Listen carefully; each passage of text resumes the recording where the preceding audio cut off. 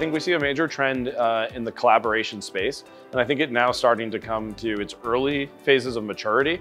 Folks have been talking about it. I'm excited to see uh, how it really materializes and gets utilized as we fast forward into the changing privacy, data, signal environment. And so I think that trend is collaboration and really allowing it to, to come to fruition and, and meet its potential. Trend that is being spoken of, but from the, the context of it now um, becoming a reality is AI. I think the thing that's exciting to me about it is unlike some of the acronyms that we talk about in this industry, that as consumers aren't actually practical or applicable, AI is having an influence on my personal life and now maturing into to my business life.